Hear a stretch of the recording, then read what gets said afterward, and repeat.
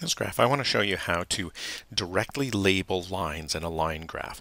You're seeing an example here. So instead of using a legend, I'm using labels that show the audience exactly which line is which part of the graph, which is a better practice than simply using a legend. How do we create this? Well, when we go to Google Sheets to create it, there's a couple of things to notice about the setup here. This is using a feature called annotations. And annotations in a graph allow you to place text beside a particular data point, and then Google Sheets turns that into a label as part of the graph. So what we've done here is we have a blank column beside each of our data series. And in the last data point, because I want the label at the end, the right side, I have placed a formula. So notice I did not type in product A. I placed a formula that references the series name. This means that when the series name changes, the label automatically changes. So you want to do this to reduce the amount of manual work, also reduce the opportunity for making an error when this gets updated.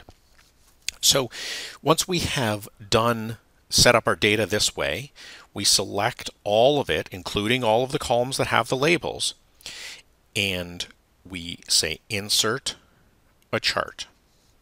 We're going to select the chart type to be a line and you'll notice in the preview on the right hand side you'll see the labels have been automatically added. That's what the annotation feature does for you. So I'm going to insert this graph and then I just need to format it. So I'm going to go to my advanced edit and I'm going to get rid of the chart title going to get rid of the legend because of course now it's a total duplication. We don't need it. And if I want to, on a line graph, not make the grid lines so prominent, what I can do is on the vertical axis, I can go down to the grid lines and I can set the color to be maybe say a lighter gray. So they're still there, but the lines, the actual data, is what's emphasized. So now I can update this.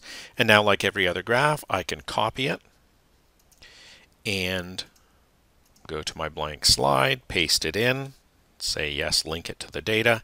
And now I have a line graph on my slide where the labels are part of the graph and each line is directly labeled.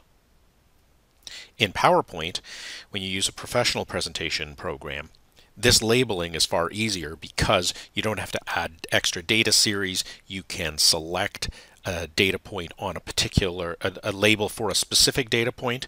Uh, you don't have to, again, put it in on a particular cell. It's a lot easier to do it when you use a professional presentation program.